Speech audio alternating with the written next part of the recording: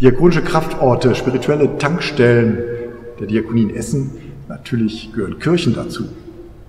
Heute sind wir in der Markkirche, mittendrin in der Innenstadt, erste reformatorische Kirche in Essen und neben mir steht Jan Vikari, Citykirchenpfarrer. Was macht die Markkirche zu einem diakonischen Kraftort?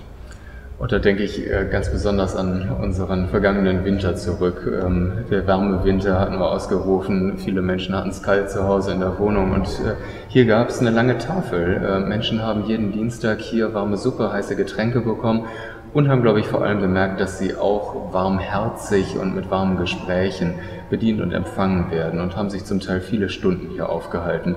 Und ähm, unser großes Team, das war zu Recht stolz darauf, äh, hier mitten in so einem Ort, der sonst vor allem mit Gottesdienst verbunden wird, nochmal auf so eine andere Weise zu merken, wie gut das tut, Gemeinschaft gegen Einsamkeit, gegen die Kälte äh, zu erleben.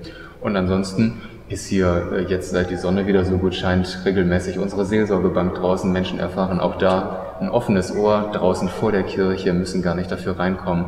Ich bin froh über jede Situation, wo Menschen merken, ihnen wird an Leib und Seele hier geholfen. Danke.